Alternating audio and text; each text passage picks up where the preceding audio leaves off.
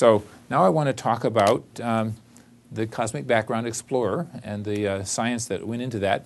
Uh, in uh, 1974, I had just gotten out of graduate school. Uh, NASA was looking for proposals for new satellite missions. Was five years after the moon landing. I said to my boss, um, Well, my thesis experiment didn't work out very well, but what if we could have done it in outer space?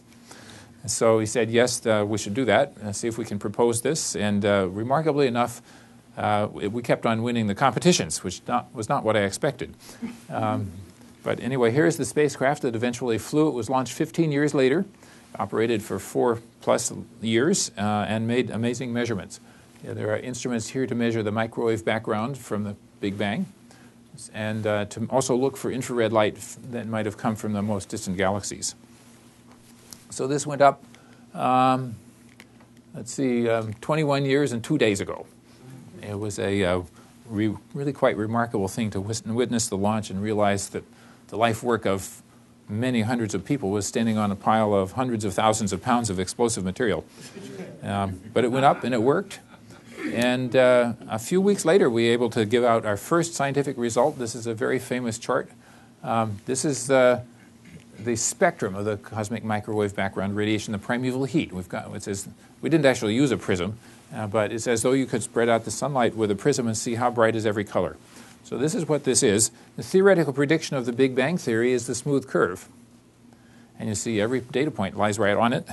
When I showed this to the Astronomical Society, we got a standing ovation. And uh, from what I hear, it's the only one that's ever happened practically uh, for a scientific result.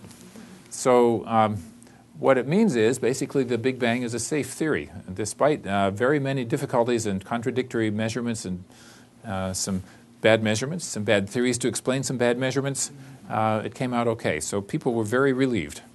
Uh, and now we know that the error bars are extremely tiny. They're 50 parts per million on this chart, which means this is the most precise measurement of this sort ever done. And the Big Bang still explains it. So that was cool. Um, a couple of years later, uh, we published these, this uh, cover of Physics Today magazine, and Stephen Hawking said this one is the most important scientific discovery of the century, if not of all time. Uh, I thought, well, that's very nice, but it's probably not quite true. Um, but what it is, this is, I'll focus on this one. This is the map of the cosmos. This is the map of the inside of the Big Bang as seen from here. So this is taking the entire sky, uh, all around us. It looks spherical to us, but flatten it out onto a map as you would the map of the Earth. And these are hot and cold spots of the Big Bang. So uh, it turns out these are the, also the uh, less dense or more dense regions of the Big Bang material. So uh, the more dense ones are the darker ones, it turns out, aqua colored. Those are going to turn out to be, eventually, they'll grow up into clouds of galaxies. And the pink regions are go- going to grow up to be empty, no galaxies. So the, this is now and the reason that we think we understand how we come we can exist. Uh, that this is the process that the, the Big Bang did in order to have us be here. Of course, it wasn't. It didn't know it was making us, but um, other people have different opinions about the meaning of these things. But nevertheless, this is one of the reasons that so many uh, people have been so excited about this result. Uh, we wouldn't exist if it were not for those spots. So um, there's a lot to say about that. Uh, there have been more scientific papers written about this, this map and its successors than there are spots on the map. So uh, it took uh, another few years uh, to get to the Nobel Prize. And this is what the uh, Swedish Academy of Sciences said uh, for our discovery of the black body form. And that's the spectrum with uh, boxes on this curve. And the anisotropy. And that's Greek and it means not the same in every direction. So that means the spot, the universe has pimples. So um, we got to go to Stockholm. I showed my chart a lot of times. Um, I got to get my diploma from the king, and eventually a nice little check, which uh, my wife and I are, have put into a uh, foundation for science and the arts. So, however, there's more to come. uh, there's a lot of mysterious uh, stuff in the sky, and so I love this cartoon from the.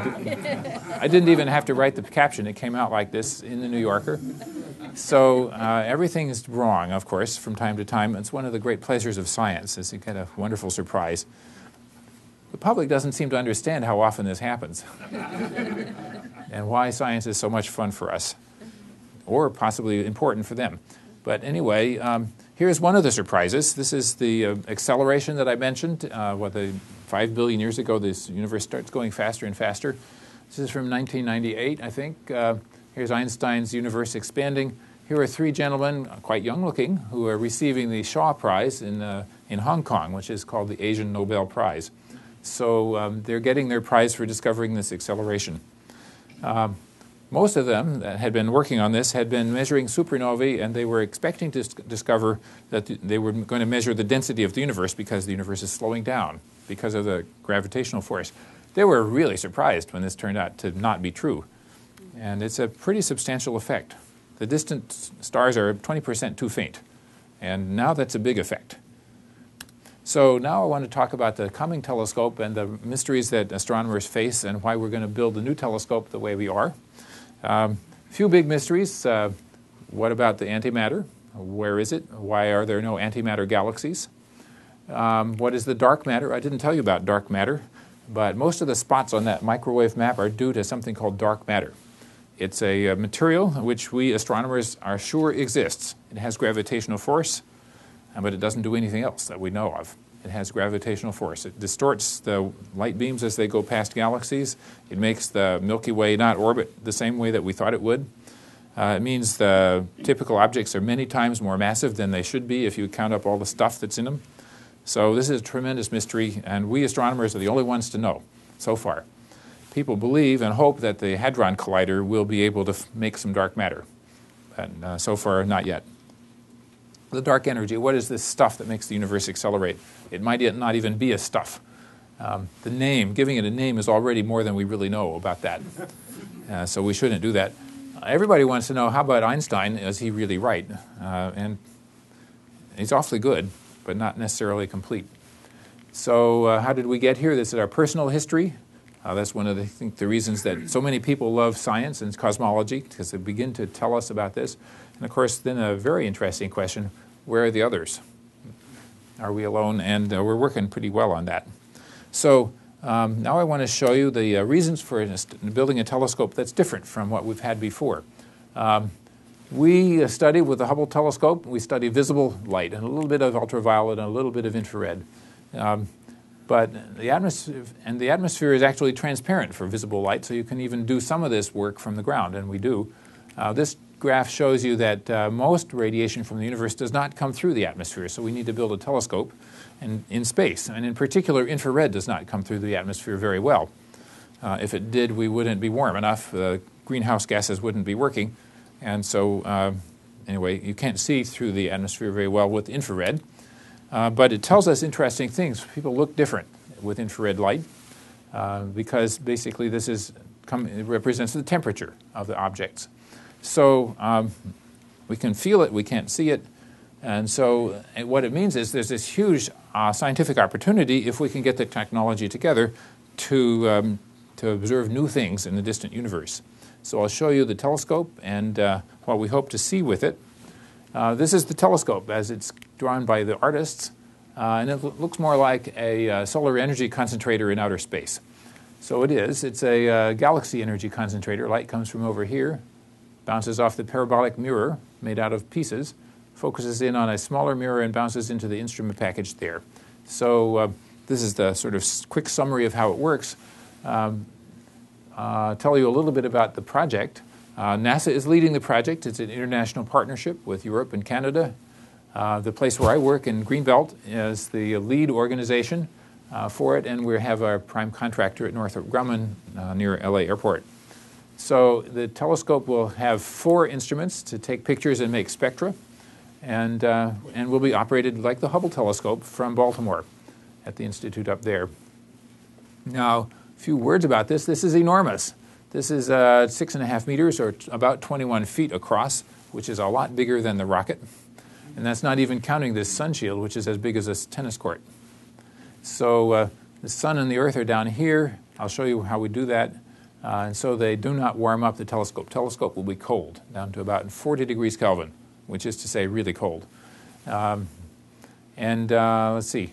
So it's cold. That enables us to do the infrared astronomy that we want because a telescope doesn't glow.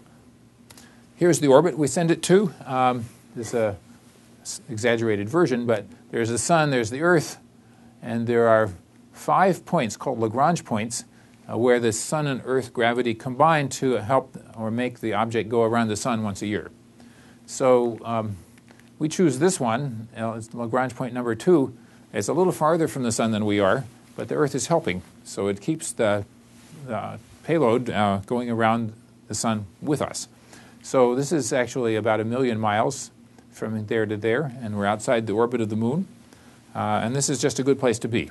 It's the because we can always see the telescope, always talk to it. It's not very far away, uh, and we can get all the commands and the data. So how, now I'll show you what it looked like on the National Mall. Here's a, uh, a steel model of the telescope. Uh, a little different from the real one, but gives you some sense of scale. It's enormous. Um, here it is over in Germany at the Science Museum in Munich uh, in front of the old observatory dome. And I think it's a really wonderful uh, uh, sort of contrast. And, and, people come from everywhere to see the telescope and just appreciate astronomy, and it's a great thing. The company made the model, by the way, because they want to sell more telescopes to other government agencies, among other things. Uh, people have other uses for this technology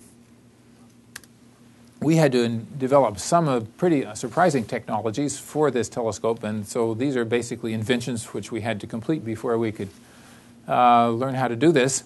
Uh, one is that we had to make the mirrors. They're made out of beryllium, um, element number four. Uh, we had to learn how to polish them so they will be the right shape when they're cold.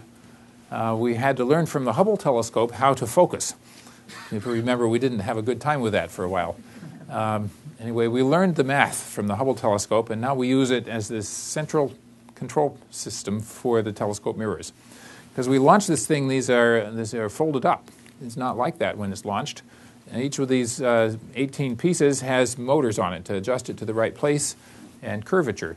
So now we can tell if it's focused and we can actually control it. So that's what enables this huge increase in diameter over the Hubble. Um, and we had to do uh, other things that are also new, uh, detectors and mic- micro stuff. So I just want to show you a picture of the testbed telescope uh, that we used to practice. This is the telescope to practice focusing. And so we, we did it. It uh, actually works quite well. And we learned a few things that you never would have observed, never ha- would have learned from a computer simulation. We have uh, four instruments that are going up. They're actually coming along quite well. These are engineering drawings uh, but uh, the real things are going to be arriving at Goddard next summer. So um, I'm not going to tell you how they work, but they're just uh, uh, wonderful achievements of international partners as well as ourselves. Here's the test chamber down in Houston where we're going to put the telescope in and get it cold. This is what they could not do for the Hubble telescope. They could not focus the telescope on a target before launch. Um, they ran out of money and they said it was too expensive. Um, well, we're actually in danger of that too. And if you read the news, you'll see uh, Senator Mikulski has chastised NASA for uh, uh, costing too much on this subject. But at any rate, I hope you'll use your uh, political influence, whatever it might be, to help us with this. Anyway, here's the telescope looking up, up at the, at the uh, test equipment up here at the top. This happens to be the same test chamber that was re- used for rehearsing for the Apollo and it's actually uh, called Chamber A, and it's on the historic register. So when you want to change it and put uh, cooling stuff in it, you have to go through a little documentation. Cool, huh? Now, a few examples of things people were anticipating to see in the sky. Um, one thing that we didn't know would be possible, and at, the, at least at the beginning, of, is that nature has given us additional telescope lenses to use out there in the sky. Now, uh, when Einstein said gravitation can bend light, so, sure enough, if you have enough gravitation due to this huge cloud of galaxies, they can actually focus the light, not very neatly, but they can focus the light. So, here is another galaxy that's way, way, way farther, and its light has been focused and distorted but made bigger. So, here is this uh, very far away galaxy made much larger, it's about 30 times magnification. So that's a big help. So there are a few things that just happen to be lined up perfectly so you can do this. Um, that's very interesting for us.